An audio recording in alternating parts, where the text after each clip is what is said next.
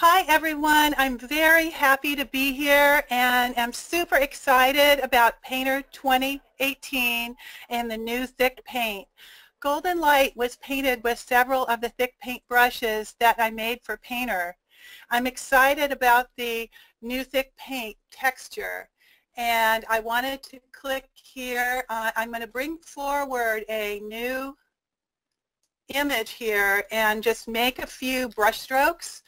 I, as you see here, I've made myself a little custom palette to make it easy to switch between some of the brushes I'm going to be showing today.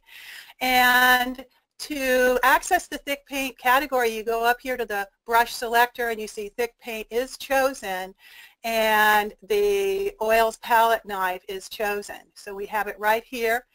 And the thick paint is very, very luscious. It also allows you to to blend. And I'm just going to make a little puddle of paint. I'm going to choose here the smooth round oils and we'll make a puddle of paint here. Press harder. I can dig into it lighter and I could build it up and go back again to this oils palette knife that allows me to scrape into this paint like so. Now I'm going to demo the rest of these default brushes and then show a couple of tips because I made some modifications to a couple of them. Uh, I wanted to go up here and show you the items in the property bar that allow us to, say for instance, change the size of the brush right here, the opacity of the brush. We could also change the paint load. We can click right here and then we could drag up to load our brush with more paint, down, less paint, so less paint, and up here, more paint.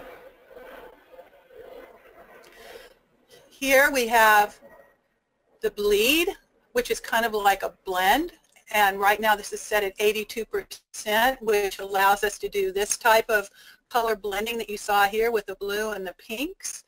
Infinite paint allows us to to continue to have the media flowing through our brush. So it's really exciting and we can turn it off if we want a brush stroke to say for instance run out of paint sooner. Here are techniques. You have the thick right here, the thick paint look, a drier look for a drier brush, the soft so you don't see as much of the scrape texture there and then a thin almost like a glazing. Very useful and you see it flattens out the paint in that a little bit too. Over on the right we have the extended property bar which allows us to to hide and show the dab options right here dab profile and we can hide and show the thick paint, media, and brush panels. And this is the quickest way to access these panels. Okay, I'm going to bring the painting forward. Well, actually, uh, let's see. Let me just scroll up here. And we'll have a look at some of the other brushes. The Real Bristle Oils Filbert has a bristle texture and I'm going to make sure I'm at actual size so that you can see that really well, the bristle texture, and we can paint over this. And then we'll look at the Real Bristle Oils Fan Short. As I lift up the brush, the bristles spread a little bit into a fan, and then the Real Bristle Oils Flat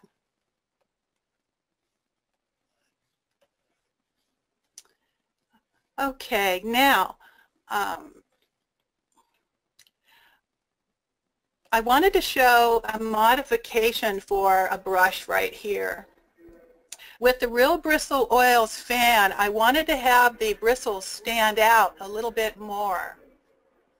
So the way that I did this was coming over here to the thick paint brush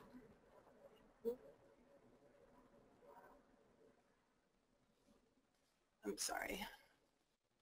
was to come over here and increase the hardness on the thick paint media panel. Sorry about that. So if you do this, you see more of the bristling. I can do the same thing to the Real Bristle Oils Filbert here. So, and if we go here back to the default, you can see, and I'll choose the pink, so see the difference here, what the hardness will do. Uh, I also wanted to show another version of my grainy palette knife, and I used this on the Golden Light painting, so we'll go there and make a couple brush strokes on this as well. So I added grain to this brush, and I did this by, see the default is uses the paint type here that you see, and to change it to one that paints with grain, you go right here in the type panel and choose paint with grain. And then I also increased the grain height right here to 70. It was like around 45. So here's the default.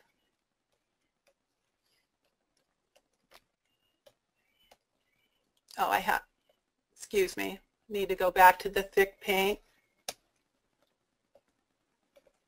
The thick technique. There it is. And here. Okay, now how did I use these on my painting? Let's go here.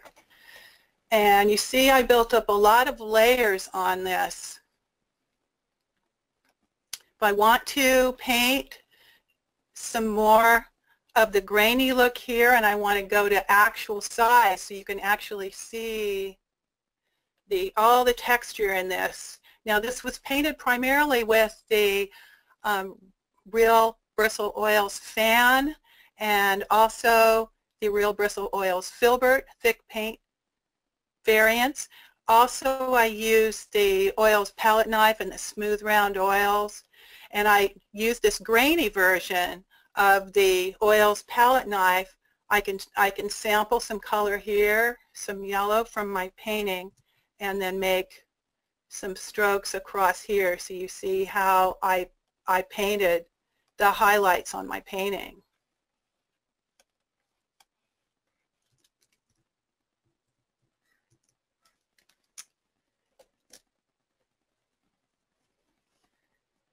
So how are we doing for time, Tanya?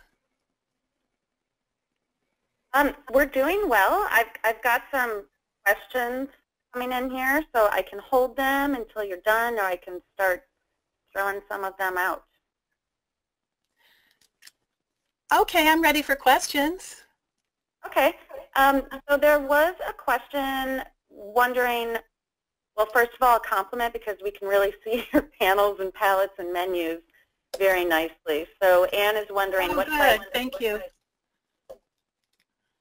Pardon? Um, she's wondering what kind of Mac you're working on. What kind of? What kind of Macintosh do you have? Oh, oh, oh, I'm sorry. What kind of Mac? Um, this is an iMac 27 and it has four gigs of video RAM and it's um, just under four gigahertz speed, 3.7 or 3.8 8 gigahertz and change, I think. Okay. And what tablet are you using, Cher? I am using the Intuos Pro Medium. I like the medium because I can put it on my lap when I'm doing quick sketches and so forth, or if I'm doing a long painting session, or put it on the table. Okay, fantastic. Um, and something I didn't mention at the very beginning, I'm getting a lot of questions about what is the upgrade price? Are we getting a special offer? So anybody registered for this session, we will be sending out a special offer on Painter to you if you have not already received that.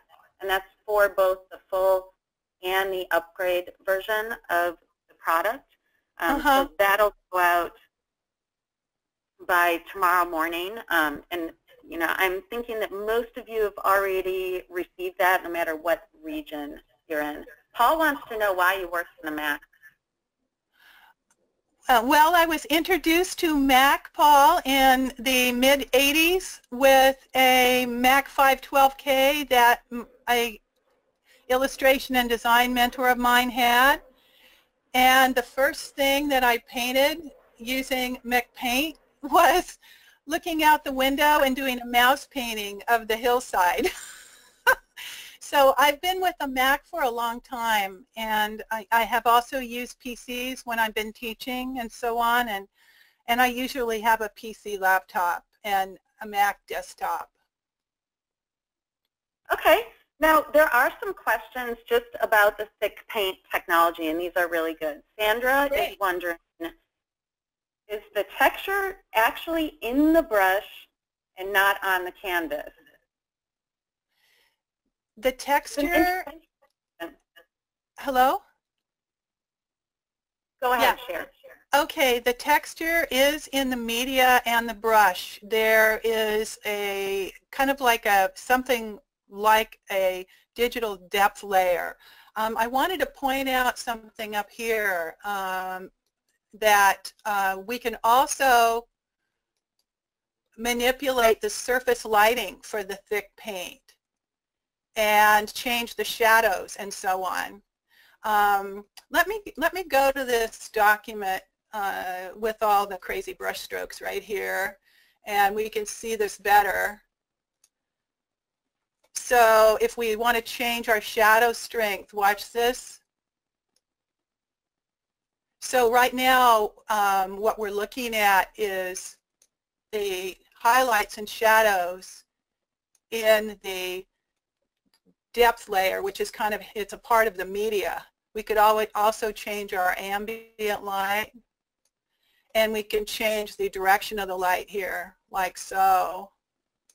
Uh, and then I also wanted to point out, if we double click on the thick paint layer, we can bring up the amount slider here. So if we increase the amount, say 650, this is going to make it look really screaming when we go back like this. Uh, 100 is the default. So um, let's go back here. And then there's another spot uh, in preferences. If we go here, general, um, thick paint layer, see we can adjust our default amount here. So if you want um, a, a, really deep, thick paint look, you know, you could start out instead of at 100% for your default amount, you can make it 150, 200, or whatever you desire, or less if you want something that's more subtle. So I hope that helped answer your question.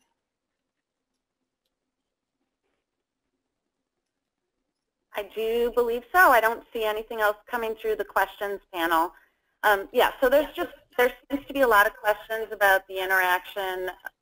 We've got the thickness in the brushes and then also being able to integrate that with the paper texture like you just showed in the strokes on the right there. Right. And then um, there are a lot. Oh, go ahead. Sorry. Um, they're also wondering how this differs from impasto. It's more fluid and versatile than Impasto. Um, so there's actually more control over the highlights and shadows than we have with Impasto.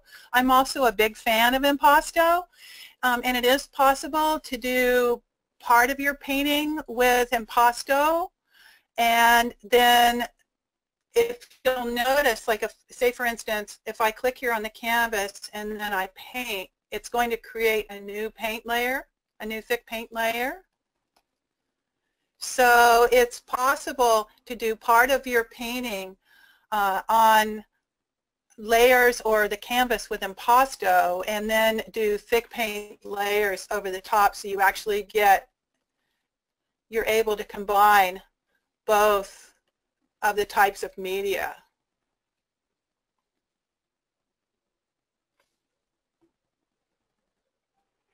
So if we go back here to the surface lighting, the upper part is for the impasto and the area right in here is just for thick paint. And this area right here is for both. Okay, great. Um, so there's still a lot of questions coming in about thick paint. Great. And we are also going to have Skip show um, the brushes. So maybe I'll throw a couple more out to you. I just want to make sure I leave enough time for Skip as well. Um, everybody is still wondering, someone asked, could you just show changing the paper texture, like a few different textures? With oh, some of, the oh, of course. Yeah. Of course. Now I have one of my favorite textures right here, and this is one of the ones I used in my Golden Light painting. And this is the gessoed canvas. If I choose the grainy palette knife that I made here, you'll see the texture coming through. And then if I switch texture over here to the basic texture, you see the look is very different.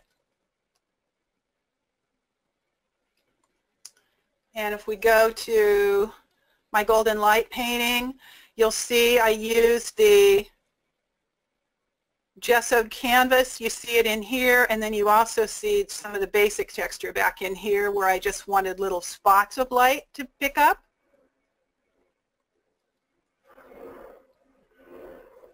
Did that answer your question? Would you like to see more textures? I, I think that was great. That's exactly what we wanted see. And then, you know, okay, some of the great. Other, I think will probably be addressed when Skip um, shows off some of his brushes. So what I might do at this point is, um, if it's okay with everybody, hold the questions. And um, I just wanted to make sure that, Cher that you covered everything that you wanted to show us today. Your painting is beautiful. Cher painted Thank this you. entire thing with thick paint brushes. Yes. Um, well, there there was one other thing, and let me see, just if I can do do it real quick. Yeah, sure. Um, one of the things that I did that was really fun for me to do was to paint this rain. So I I'm going to go here to the bristles, and I'm going to open up the real bristle panel here and change this to rotation because I have an art pen. So this is how I painted the rain. I used the, you see my brush turning right here? I sampled some color from the cloud and then I just pulled down with this to paint the rain. And that was really fun, fun to do. It's so nice. You know, if I, let's put a little more rain. Yeah, that's how we painted the rain in this this painting. And this is one of my very favorite spots on the planet. It's an area where my husband and I take our walk before work in the morning at, around sunrise, but it was inspired by uh, a storm that came through with some really beautiful light on the water. So I, I hope you enjoyed the demo, and it's just such a pleasure to be here. I'm, I'm crazy about Painter 2018 and thick paint. Happy painting, everybody. Okay, now of course more questions are coming in, and Kurt, how you rotated the brush. okay, sure. Okay. Um, the, the, let me go back and turn it back to its default. So what I did is I went over here to the bristles on the extended property bar and I clicked here to open the real bristle panel and under expression, I changed it to rotation. There it is. And so now I'm with my art pen, I'm able to rotate. And this is something, if you look, you'll see the little dot on the extended brush ghost right here. I'm, on, I'm over the yellow light on the water right now. Oh, there, that shows better. See that? And then now I can paint like so. That's how I rotated the brush. The uh, default brushes are set up with bearing because um, it's it's more standard to have the, the default Wacom pen. Um, and if you're interested in the art pen, they're available through Wacom and they allow you to have 360 degrees of rotation, which is, is really helpful as well. But the, the standard pen is really nice too. So if we go back to that default brush, you'll see now I'm using bearing and I, whoops, now I'm using bearing and I can still get a stroke. Now I'm painting, real, pressing really hard. I was using really light pressure to press to paint the rain. Whoops. Oh, there we go. There we go.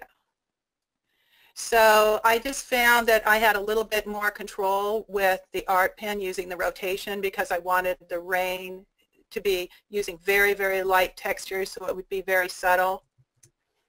Yeah. Did I, I hope I answered your question. Yes, you, you did. Great.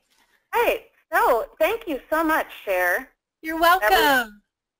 A great introduction to our thick paint. And um, so I'm going to go ahead, Skip, I see you're still with us there. Um, I'm going to go ahead and give you the presentation here. And while I'm doing this, um, I'm sure pretty much everybody that is on this session knows who Skip Allen is um, and that he is also an instructor at Digital Art Academy. So if any of you are looking for training on Painter 2018 or any other version of Painter, just looking to have some fun with some online training, it's a wonderful online instruction academy, and I just wanted to mention that. Thank and you. they're asking, Skip who? It's Skip Allen, who is one of our Painter Master elites. And I can see, I see your screen here, Skip. Yes. I hope you can see it. I didn't make it bigger like Cher did. Yep, I see you have a little sketch down on the canvas there. That's correct. Okay. Are you ready for me? I am ready. Take it away. Okay, thanks. Uh, Cher, you did a beautiful job. I, I actually learned a couple of things watching. Thank you, Skip. You're welcome. Oh, Uh, Thank you very much, Tanya, for asking uh, for me to help with this uh, presentation. Painter 2018 is absolutely wonderful. I think everybody's going to love it. They're going to love um, this uh, thick paint, but there's lots and lots of extra stuff that's on it as well. Um, I'm trying to bring my picture up. There we go, a little bit. Okay. So what I was going to do was talk about some of the brushes I did, but at the same time, uh, how I paint. And so when I started this painting that I'm going to kind of demonstrate today, um, you know, I, I have just a blank canvas and I add a layer and that layer I do my little drawing, just a quick sketch to give me an idea of where I might be going. Then what I usually do is I coat a layer with, or fill a layer with some sort of color.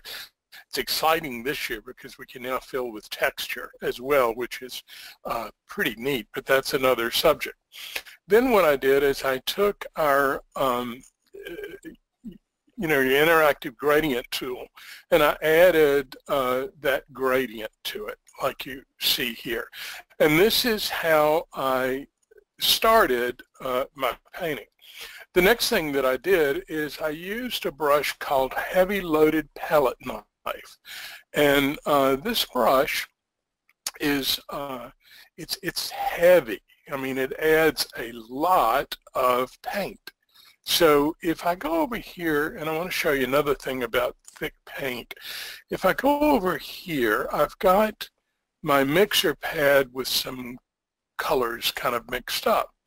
If I select sample multiple colors and the amount that I'm going to sample is determined by this slider, I'm going to sample 50 um, pixels across and I grab up here, then I begin to paint and you're going to see it picks up all of the color, okay, that you know, it's not picking up just one color, but multiple colors.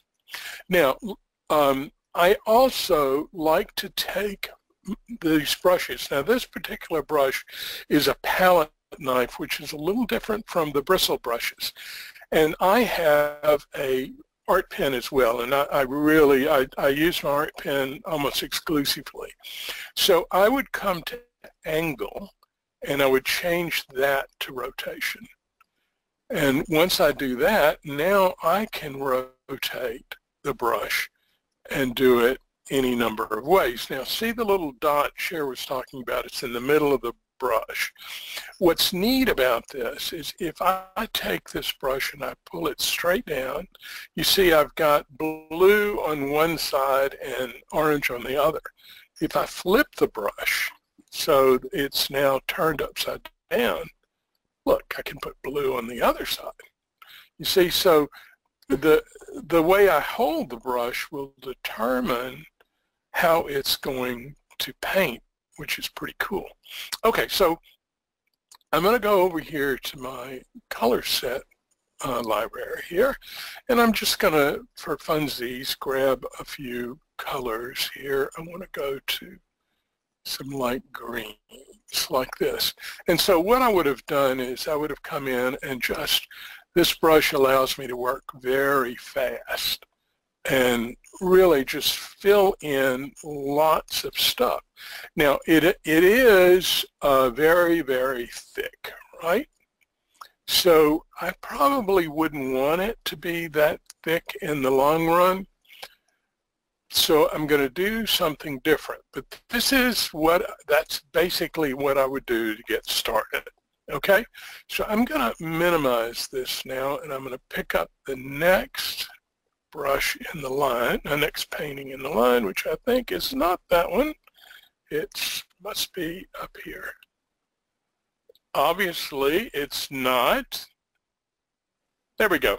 Okay, so that's what I did when I was showing you how to do uh, the heavy paint on this. Okay, so I the reason I use the heavy loaded palette knife is because it does sort of blend some and you get this kind of nice look. Now, just today I discovered something kind of fun. I have a brush called Grainy Fine Rake. And what I like about Grainy Fine Rake, when I switch to it, and let's go to its default, and I'm going to change it to rotation, it, um, when you paint lightly with it, it kind of takes some of the paint away. And when you paint heavy, you get more of that rake kind of look. But as you can see, I've got color here. So as I paint, I'm, I'm getting, I'm mixing the color. This is what I just discovered. I, I, swear I don't think it was in a previous version, but it may have been and I just missed it. When you go to sample multiple color, normally if you sample out here, you would get white. But for whatever reason now, when you sample out here, the brush now has no paint.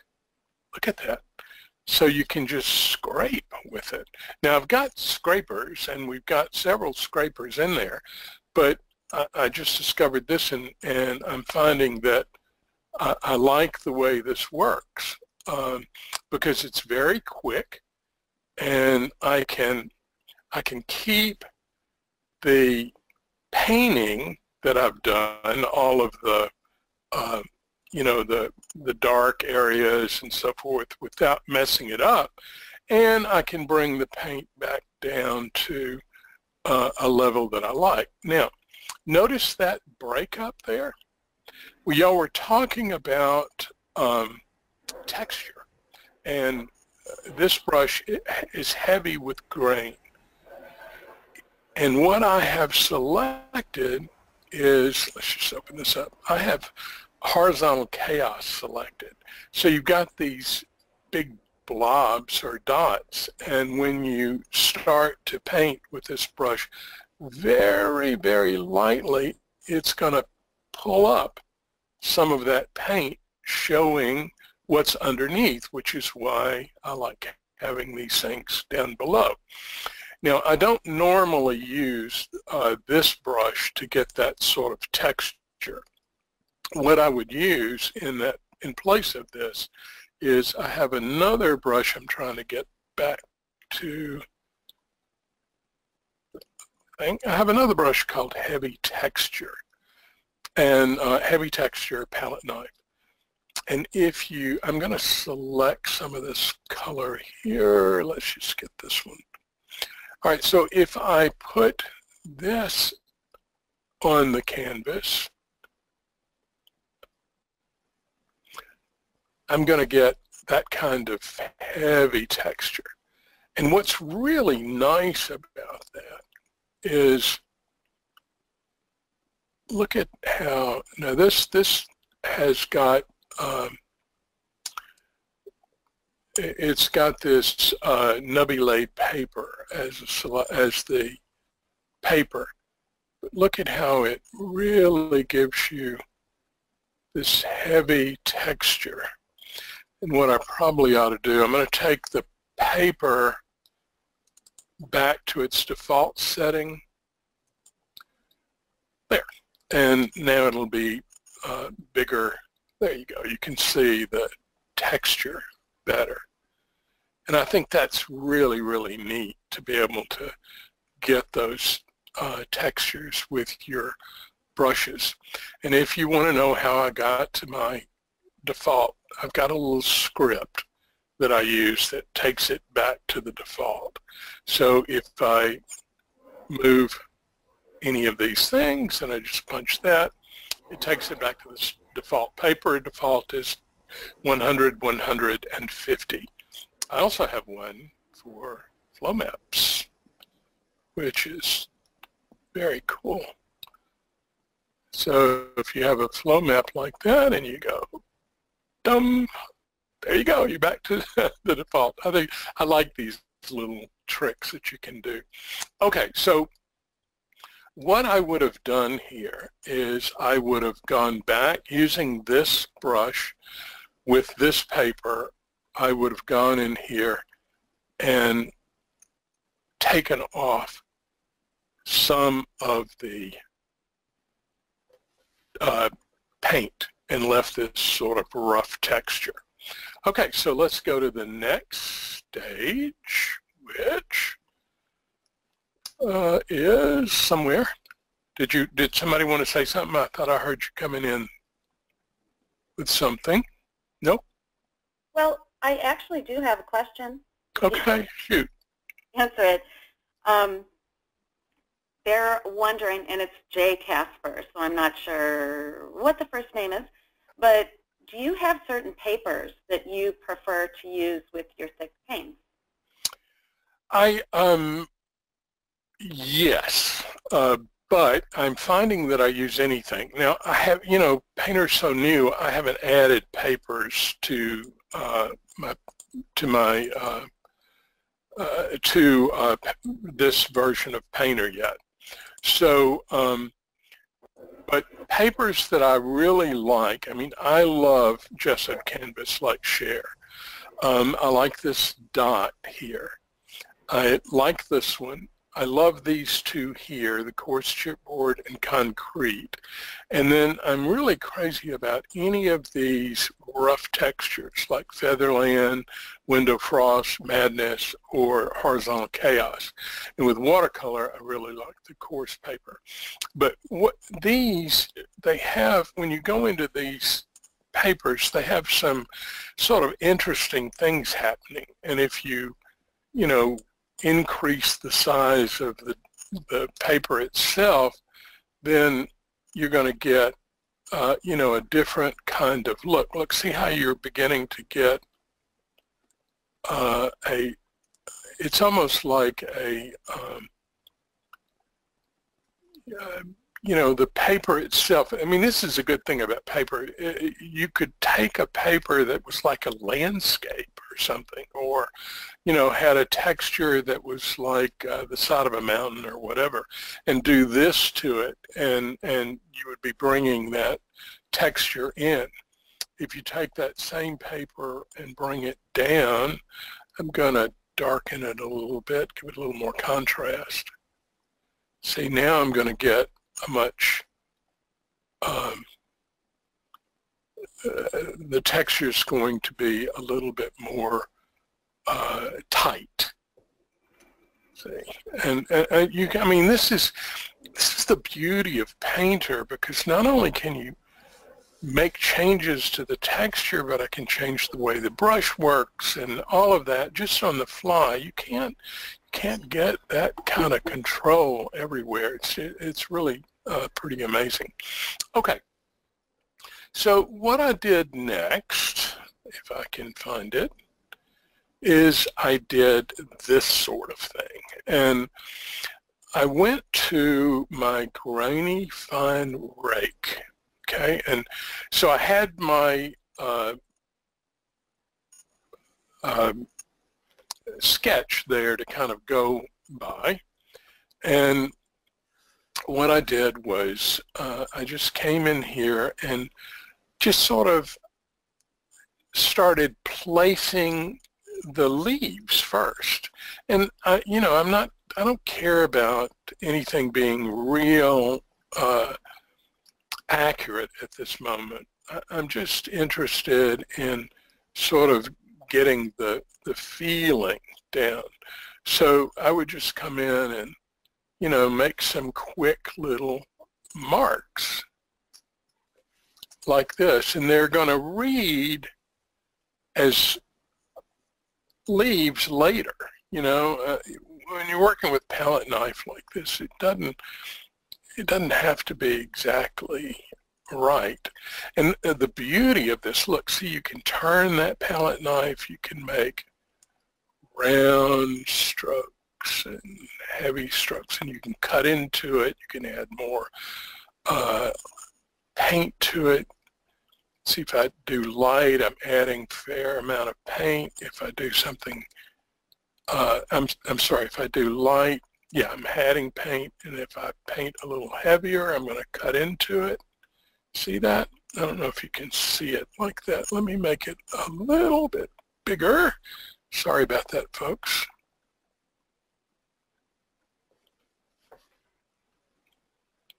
Okay. Now, that'll make it easier. By the way, I'm using, um, this is the simplified toolbar and this is the command bar. You can find those in the simple layout. I love that stuff because I can put everything over here on the right and not take up much space. Okay, so I can put in paint like that and then see I can get more and less. And so you can, you, you really, you have a lot of control with this stuff. Now this is a rake, so I'm getting, you know, little lines in it rather than having a very smooth look. Okay, so what I was trying to say was I would come in and I would do um, the, I would take this brush and I would just simply find the color that I want to work with and I would just begin to put in you know something that kind of gave me the feeling of petals. Now I'm going to work much thicker. And so once I get to that stage, now I can come in and I can start pulling this whole thing together. And I will tell you that I, at some point I totally forgot this flower down here. it would have been a lot better if I'd put it in, but well, you know, that's the way things work. All right, so the next step was to um, kind of really bring the thick paint into play. And uh, to do that, I used another brush. Now, what I'm going to do is I'm going to open this back, not that one. I'm going to open this one back up, I think. Yep. And number three, I'm going to close it. I'm not going to save it. And I'm going to open it again so that it looks the way it should look. Okay. Now, what I'm going to do is show you a little bit more about working thick. I'm also working fairly, uh, I'm only working at 100 ppi, which um, is, uh, you know, going to show a lot of uh, texture to it that really you don't need to do. I'm, I'm going to switch now to a brush that is not in the set. This brush is called um, Heavy Cut. Um, it's essentially the same thing as uh, the heavy um, heavy loaded palette knife but I've changed the type I'm sorry not there I've changed this to plow paint with grain and Cher told you about how that works and what that does is it allows me to really put in some heavy pressure, heavy amount of paint. And then as I increase my pressure, I'm going to cut into it and actually put in some texture. Now, I need to go back to the right paper. And I also want to have this paper to be a little bit smaller and I'm going to make it a little bit stronger like that. Okay. All right, so what I would do in a case like this is I would probably start with some of the leaves. And your darker textures really, they tend to fall back, the darker colors tend to fall back in a uh, he heavy impasto or thick paint type painting. And you start bringing the lighter colors forward. So if it's, oops, if it's a lighter color, you would let that be a little thicker and let the darker color fall back. And you can control all that with these brushes. So I would probably start by, you know, doing that sort of thing, getting getting more uh, uh, thick paint in here, and um, defining these uh, green leaves a little bit. Now, I wouldn't define them um, real well. You know, I would I would just put in a few strokes here and there and, and come up with something. Then once I've done that, I would start working with some of the flowers and I would probably start with something that's in the background. And I might take this uh, uh, dropper tool and I would probably come down to about 11 by 11 average and I would grab a color and then I would come in and, you know, I would start defining the flower a little bit better.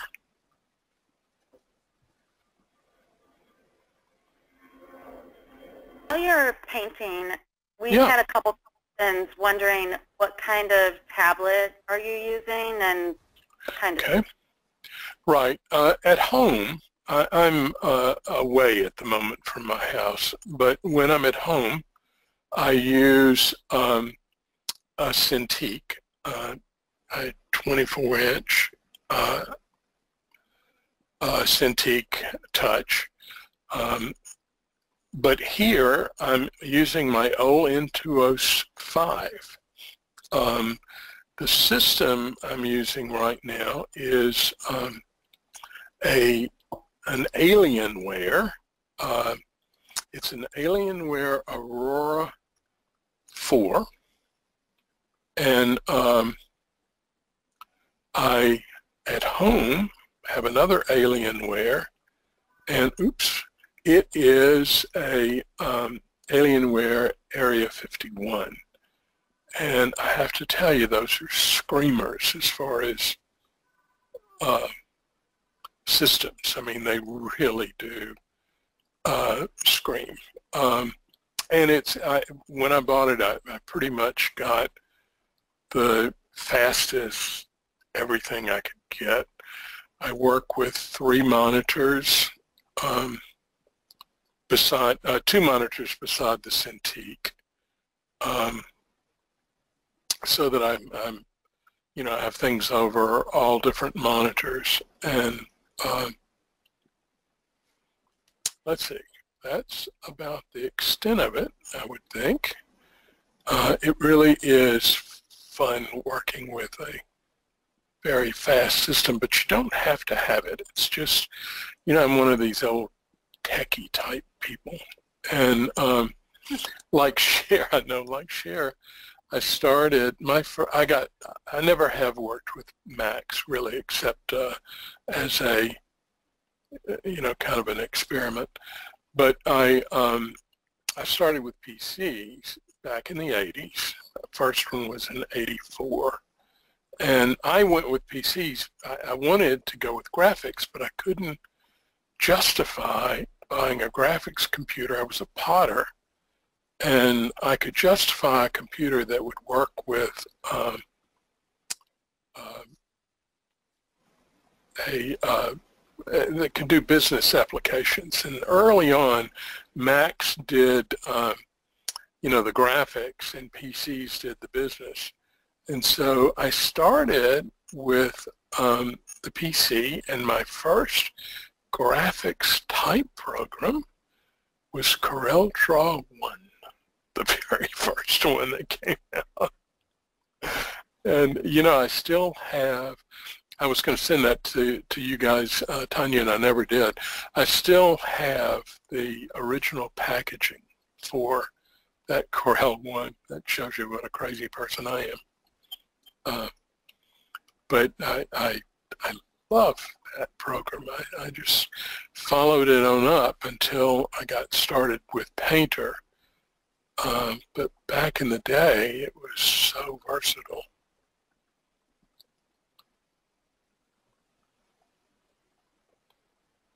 anyway, y'all see what's happening here is I'm adding to this painting just by going in here and changing the brush size and colors and so forth and just adding little stuff that makes it um, you know that the what I'm trying to do is let the the palette knife define the petals. and and it really works pretty well. Um, uh, you know I'm I'm getting better and better with it. So that's the way it worked. Now this is as far as I got with the painting. I did I started this this morning for the webinar. And so I, I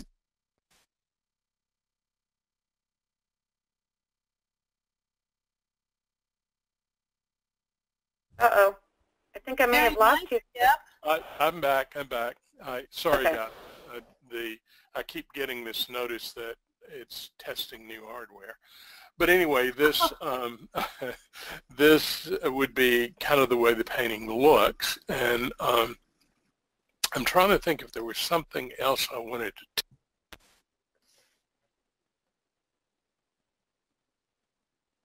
I'm back. I'm back. Sorry about that. Uh, I, I, good thing we're at the end of this because it looks like I'm going to be losing you from now on. Um, I can't remember anything right now off the top of my head that I wanted to tell you that I haven't told you. Um, so if, if there are questions or anything I can answer, let me know. Okay, so there is a question um, just in regards of these brushes that you're using. These are all included with Painter 2018, correct? Correct. Everything but heavy cut. Um, I just, I was playing this morning and kind of came up with this brush. Sorry, but every you know every time I play with Painter, because you can mess with the brushes and it's so easy, I'm always tweaking. Now, most of the time I don't save it, but I did save this one. Um, so that's the only one that's not in Painter. And basically, if you took the heavy loaded palette knife, let's open up that white piece of paper. All right, so this is the heavy loaded palette knife, right? Okay, so if I took that and I go here and change this plow paint to plow paint with grain, that's going to begin to make this brush the same as what I just made. Um, I would then go to something like, I tell you what, let's just do it this way. We'll hit my heavy cut. All right, so what I would have done in, in this brush, I would have dropped the rate some. Yeah, see how that changed it considerably and gave me a little bit more of a cut. So, I mean, that's what I'm saying. It is so amazing what you can do here. You know, light um, heavy pressure uh, and then light pressure to cut back into it.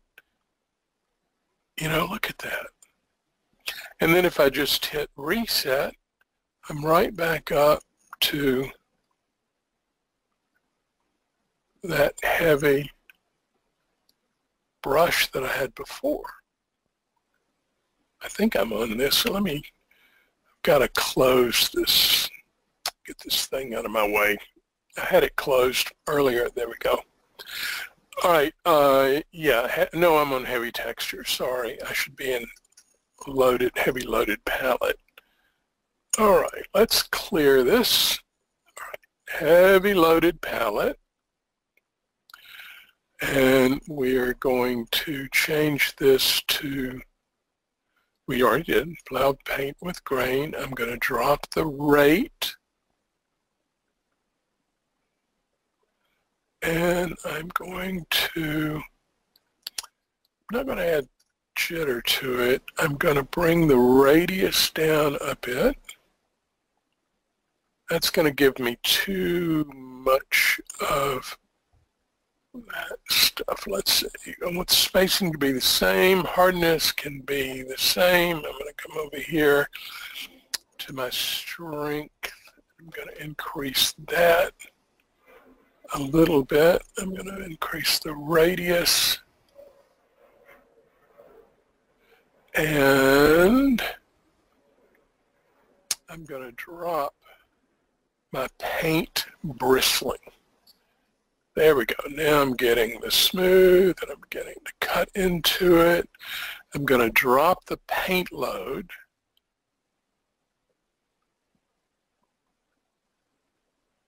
Okay and I'm going to leave the brush density there, but I want to drop the paint load even more. I'm going to bring this down a bit and this back down. There we go. Okay, so heavy now I'm getting, you know, plenty of stuff. Heavy pressure, light pressure I'm getting thick. Heavy pressure I'm cutting in. This brush has got a lot of blend with it. And when you press heavy, you're going to bring in more paint. If you press light, you're going to blend. Isn't that cool? It's awesome. So, I mean, and I yep. have to tell you, there seems to be a lot of interest in brush making classes, and of course learning more about thick paint.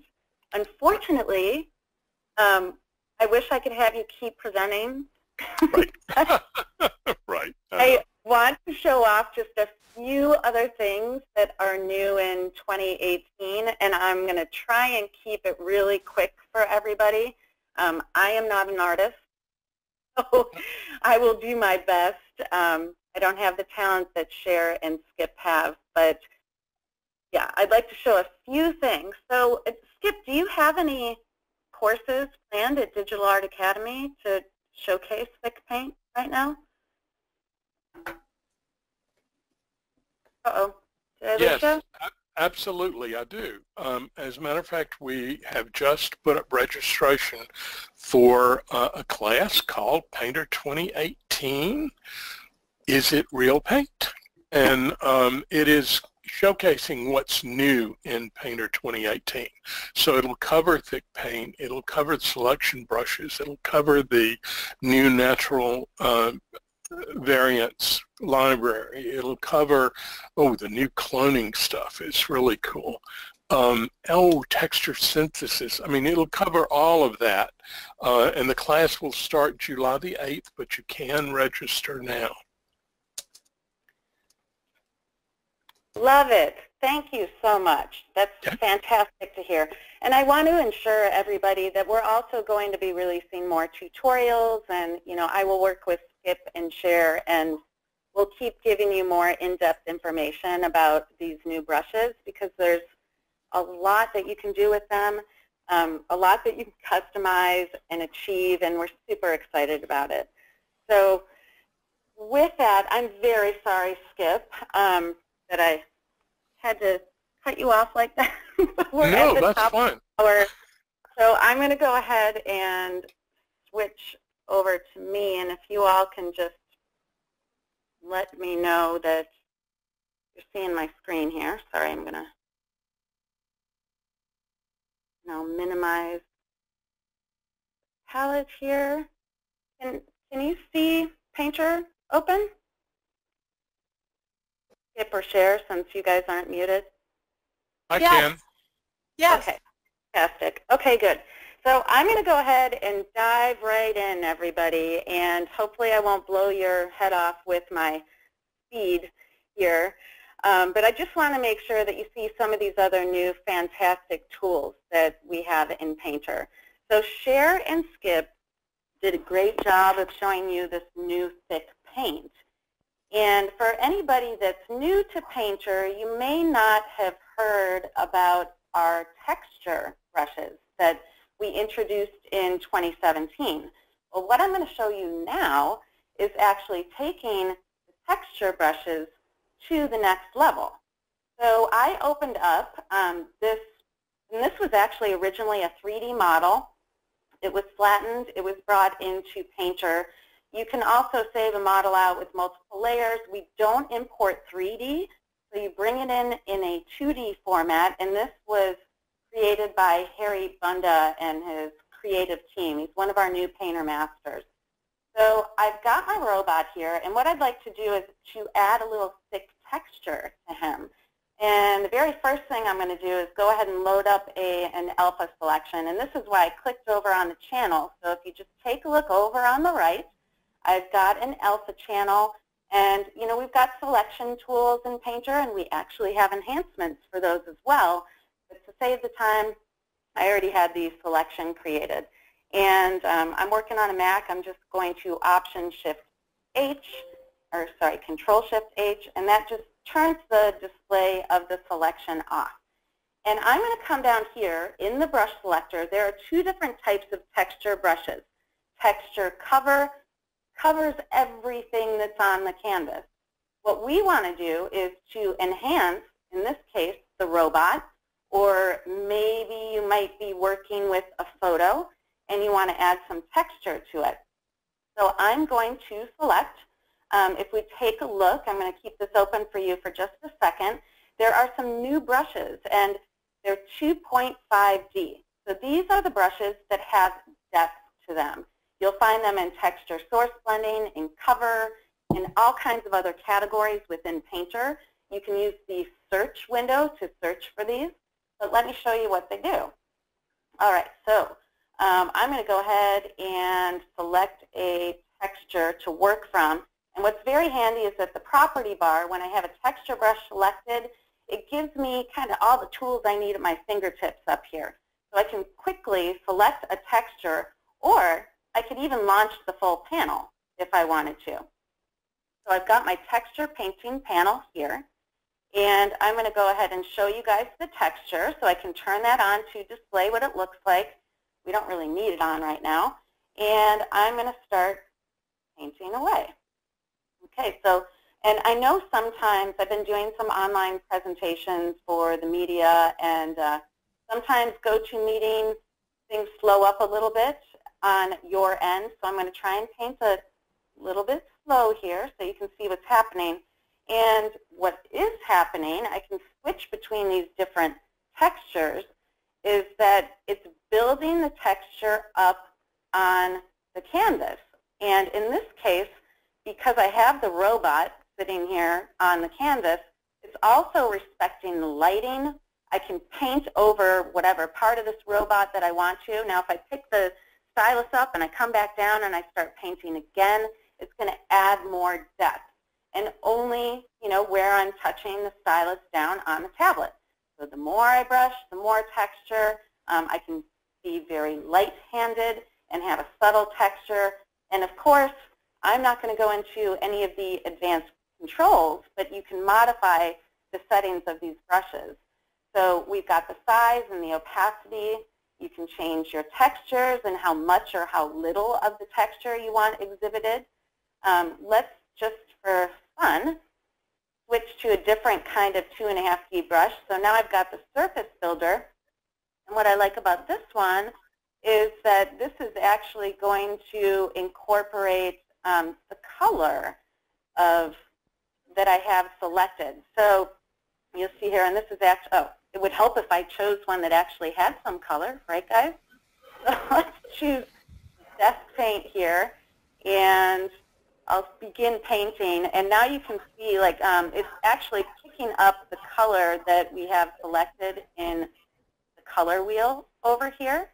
Okay, so I can choose a color and have that incorporate that within my stroke, or I could say, hey, let's just use the color of the texture itself and paint with that. So now it's just directly picking up the um, color of the texture that we have. So there's all kinds of fun brushes to play around with in here. There's this scratcher. And keep in mind, I told you guys I'm not trying to create something beautiful here. so now you can see, you know, this one kind of scratches and builds up that thick texture. Um, so there's all kinds of fun brushes to experiment with in the source blending, the cover, and elsewhere within Painter. So let's go ahead and close out of this because I want to show you where the real challenge in using these brushes is. My quick down and dirty demo just gave you an idea, but Harvey actually painted this robot for us, and this is so impressive. So if you take a look here, you can see that he was um, not quite as heavy-handed as I was, and he was able to, you know, more subtly incorporate textures in a variety of areas within the robot, along with colors, a little bit of glow. So there's so many possibilities with this, and I encourage you all to download the 30-day trial and check it out. So that is thick texture. Next, um, you saw when I turned the texture on that it covered the whole canvas, but that is not always the case. So we have now added something that we call texture synthesis. And I've been going a little bit crazy, um, going around town, taking pictures, grabbing stuff from online. A lot of times things that inspire me are very small in size. So with this, I'm going to just take a quick look at the size of this image. So this is 500 by 334 pixels. That's pretty tiny. Probably not going to cover a full canvas if I wanted to paint with this. So to resolve this issue, we've added something called texture synthesis. And what you can do here, and this is all within the texture painting panel and all the way down at the bottom there. So I just double click to expand it. It's saying, okay, Tanya, what do you want to do? um, I want to take this texture and I want to make it bigger. So I opened it in Painter. It's not in the texture library. I could also select something that was already in the library. I'm going to say, let's work from the document. And I need to make a selection of the area that I want Painter to analyze the DNA of in order to create a larger texture. So keeping things simple, I'm just going to Control A, Command A, um, depending upon the platform you're on. I'm selecting the whole brick texture. Then we come down to the middle here, and there's something called tile settings. And I, for the most part, use random seed. And this means, okay, Painter's going to do the job for me. It's going to look at this DNA, and it's going to generate the texture automatically for me. Because this texture has got, um, it's very blocky, it's got horizontal elements, it's not something like, for instance, maybe leaves scattered on the ground or dirt on the ground. I'm not going to turn Scramble on. Scramble works well for more random types of textures.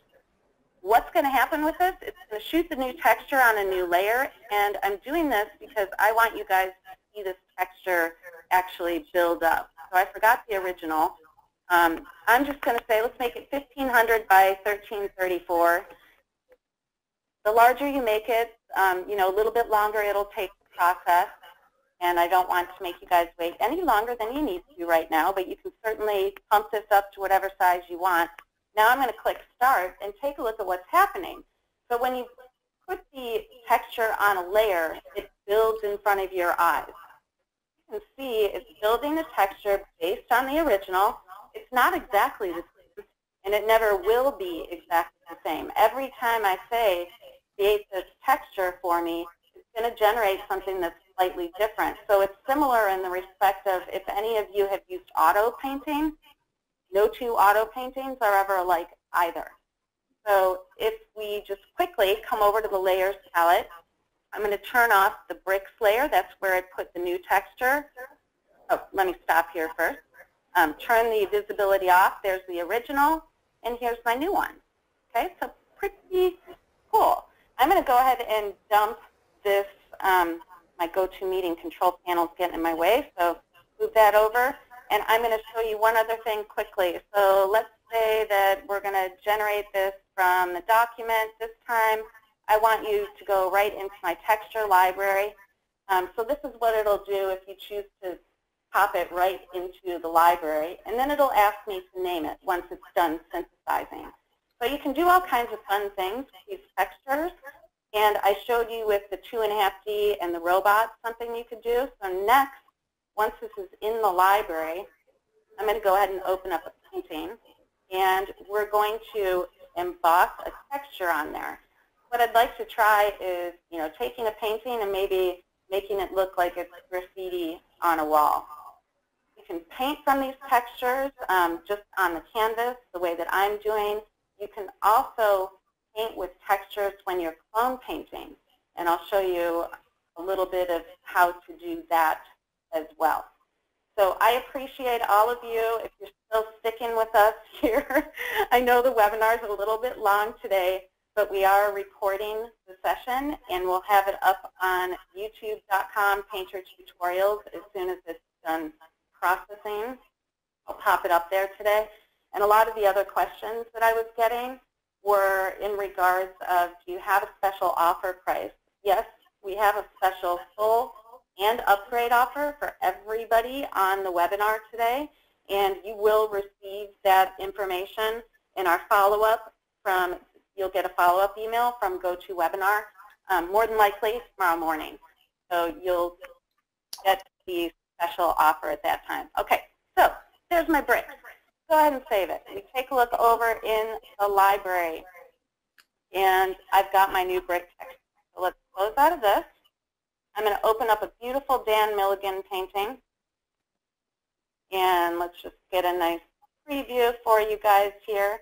And I've got the texture selected, and we're going to come back to the Stencil Soft Emboss, and I'm just going to size the brush up really big because I want to cover a lot of ground all at once. Okay, so now I can make it look like she's on a brick wall. Maybe get a little bit of her hair here if I go over her face, and if I get a little bit too aggressive, that looks like a little bit too much. This is when you can actually go back to your impasto brushes, and the depth eraser will allow you to remove a little bit of the depth if you want to. Or you could have painted the texture on a layer. Okay, so I hope that this is coming across um, okay for everybody. You can see this. So now I just started removing some of the texture. But that's a little bit more about the thick texture and the possibilities that you have for working with it. All right, so cloning. I know a lot of you are asking me about this um, when Cher and Skip were presenting. And I also know that Carrie, um, Carrie Nanstead is on the webinar. I'm not sure if she's still with us. This is her original photo. You will also see her painting. I'll pull it up for you. And it's also in our new video that we'll be launching later today. Um, so what I'm going to do here is a little bit of photo painting. And from the window menu, if I go to Layout, I am going to select the Photo Art Layout. And what this does is gives me all the tools that I need to get this painting done. So I don't have to go hunting and pecking for um, you know, the variety of tools that I want to work with. So the very first thing, I'm going to come over here to the Photo Art palette, and there's underpainting. I'm not going to worry about digital darkroom work. Her photo is pretty beautiful to begin with. So I'm going to say just go ahead and auto-clone that. And let's make sure that we just uh, set that so that you all can see what's going to happen here. Then I'm going to go to auto painting. And I love to cheat because I am not exactly somebody that has a whole lot of blank canvas painting talent. Um, so the nice thing about auto painting is that you're not stuck. So it put me into the Smart Stroke brush category. It will paint with colors from the photo. It will do the same if you select cloners. You can select any brush you want to in all of Painter. I'm going to select my Sargent brush. This is one of the um, most loved brushes in Painter. And when you stray from a smart stroke or cloning category, you need to ensure before you click the auto painting that you click clone color. And what that's going to do is it's going to pull the colors from the clone source. Command or Control T, I'm going to turn the original off and we're going to paint away. And one of the other new things that we have added in 2018 are enhancements to our drip and liquid technology. So I, I can stop before the painting's done. And before, in Painter 2017 or any version before 2018, you can never paint with the Sargent brush on a layer. So now I just added a new layer. I can come up here, I can start painting away with my Sargent brush, and it's not just the Sargent brush. We've actually added um, a whole new brush category. So if I come down, we get out of the artist favorites, and we come over to Sargent. I'm going to use this drippy jellyfish. So we've given you some new drip and liquid technology brushes that you can use. So see how now it's painting with the blue? So if I want to, once again, paint with colors from the clone source, I just click that little guy, and now I can paint away. Okay, so keep in mind I said I'm not trying to create something very beautiful. This is why I'll open Carrie's painting before we move on. Um, so being able to paint on layers, you know, you can pick up underlying color and blend with what's underneath it. That is brand new to 2018. But what else can we do? Um, if we take a look in the clone source, previously you just had clone source images.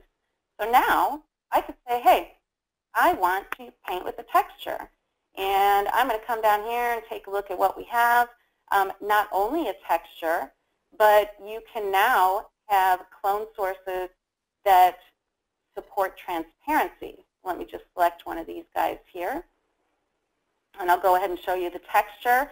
So we've given you a few samples um, in the library that already have transparency supported. If I go ahead and select this kind of leafy texture here, I think I've got a, a sticky, sticky stylus today. Um, so this is something that might happen to you, and I wanted to show you this because this texture is not filling my entire canvas. Okay, we showed you how to use texture synthesis to address that. You can generate a larger texture if you wanted to using synthesis. Also have the ability to transform on the fly. So let's go ahead and I'm going to select transform textures and I've got the move and scale size here and I'm just going to you know very quickly drag that up, fill the canvas. I'm going to commit that turn it off, and then I'll pop this over here. And now, my favorite brush, this emboss brush, check out what you can do. Okay, so you can now emboss or incorporate any kind of texture that you want to. We can do this in our cloning workflow, which is fantastic. I could also import transparent images if I wanted to. So from here, right from the clone source library, go ahead and click this little guy here. I'm going to grab my ladybug.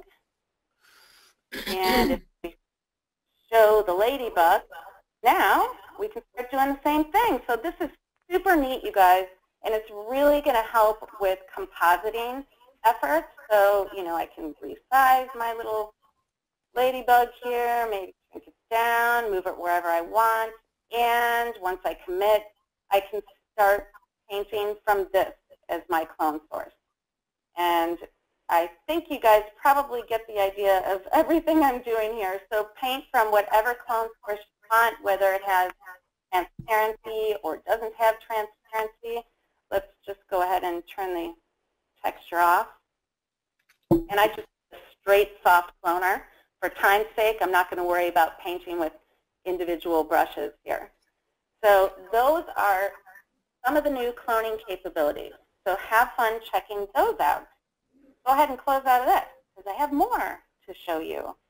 And next up, we have selections come out and to help me out here, oh, Carrie, I'm so sorry. I forgot to open up your painting. Let me open up her beautiful painting so you can actually see what that final painting looks like. So that's what Carrie created. If you spend more time than I did in the couple minutes that I tried to create something. Thanks again, Carrie. So I'll go ahead and close that out. We're back to Jack's wacky painting here. Um, and I'll go ahead and zoom in. And if we take a look over in the property bar, let's just collapse some of these palettes so that we can free up space. Right where the magic wand is, anytime you see a little arrow there, these are flyouts. I'm going to select the selection brush tool. This is brand new. The property bar allows me to adjust size of the brush, um, you know, all kinds of things. I'm going to say, let's go ahead and uh, just come over here and I'm going to add some selections. Some of you are asking for Skip to go over the interactive, interactive gradients. So I'll give you a little taste for this right now. Um, I can subtract, you know, make a crazy, wacky selection. So using Painter's unique brush tips, you can get some really wonderful types of selections and you can make them quickly. Now, if I come over and I grab my interactive gradient, you have all different kinds to choose from, linear, radial, um, circular, spiral. Let's just stick with this swimming pool since it kind of goes with the color scheme we have here. And I just click and drag within my selection. And there's more that you can do. So we've filled, and you know, you can keep adjusting this on the fly as you see fit until you're happy with it. We can also do things like auto paint the gradient. So I'm going to go ahead and do that for you. So hopefully this is coming across in the GoToWebinar. It is now painting with these heavy dab strokes. I'm going to turn the selection off. And this is a, a nice way I could quickly fill a portion of a background with painterly effect if I wanted to. So that is a selection brush from the toolbar. But now I'm going to come up to the brush selector because we've got some other cool brushes for you. So let's go to selection brushes. And with this particular crazy character, I'm going to grab the splatter selection. Go ahead and splatter. So this is, it looks like it's painting red, but the red is just the display color for our selection. And you can change that. If you don't like red, you can change it to a different color. Once you release, then you only have the selection here. So I'm going to do what I like to do, which is fill with texture. And we're going to pick a nice veiny texture here. And once again, this isn't in the location that I need it to be, so I'm just going to do a quick transformation, commit, And new capability, now let's turn that off so you guys don't have to look at that texture, being able to with textures. A can, I hear a little echo. I'm going to go ahead and fill with texture. And I can adjust the opacity here if I want to, but I actually put the selection on a layer. So then you could start having some fun using your, um, your layer merge mode. Okay, so we can start changing to different things and playing around this way. So that is the, the new selection brush tool in the tool palette, your selection brushes. You can create your own selection brushes. And thanks to Jack Whitney for submitting this really awesome work of art and uh, allowing me to have a little bit of fun with it in my demo here. All right, so I have one more thing, and it's a very simple um, yet powerful tool for you all. So I'll just open up a blank canvas and I'm going to select a hard media type. And this was a request from a lot of our artists. This is in order to make strokes look more realistic. So I'm going to grab my chalk pastel and crayons, my real fat chalk, and we're going to grab a, maybe the marble substrate texture. And I'm just going to pop open the papers panel here because this is where you'll want to go if you want to use this. Once you select your paper, we've got something um, down here called random grain rotation. So let's just use brush as it would have been in 2017 or before. Okay, so um, with the hard media, it's going to catch the ridges of paper texture, and you know I can pick up, I can kind of layer these different colored strokes on top of one another, but this paper texture is static. It looks exactly the same no matter where I pick up and I put my brush down. What we can do now is to incorporate a little bit of random grain rotation into our stroke. And every time that I pick up and I put this stylus back down on the canvas, it's slightly rotating the paper texture and giving me a much more natural, organic look. It doesn't look so digital like this. It now looks much more like the real world. And that's random grain rotation. You know, I said it's a small little thing that makes a huge difference in the end result of your work. Um, so I don't think I quite went through all of that as quickly as I was hoping to, but that should give you all a good taste for everything that's new in Painter 2018. So Chris, um, I don't know if still with me here and if you would like to say anything before we close out. Hey, Jenny, yeah, I'm still here. Can you hear me all right? Yes. Okay, thanks. Yeah, no, um, I just wanted to thank um, both Skip and Cher for coming on today and helping walk us through and showing some of their workflows. Um, and thanks to everybody on the line who showed up to hear about sort of the, the surprise Painter 2018 webinar. And thanks to all of you for sticking through. Sorry we went a little longer than expected, um, but there's just so many things that we wanted to talk about today. So um, yeah, so it's definitely very exciting. And other than that, I hope everybody enjoys Painter 2018, and, and thanks everybody again for showing up. Thanks so much, everybody, and thanks, Cher and Skip. I really appreciate it. Thank you.